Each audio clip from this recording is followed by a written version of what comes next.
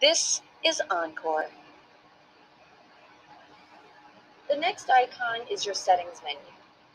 Here you will find information about the user, the project, an option to go back to Studio Balfour or log out of your project, as well as a place to specifically choose your preferences on your spread.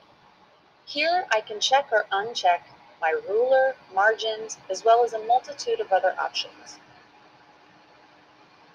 Please contact us for any of your Encore needs.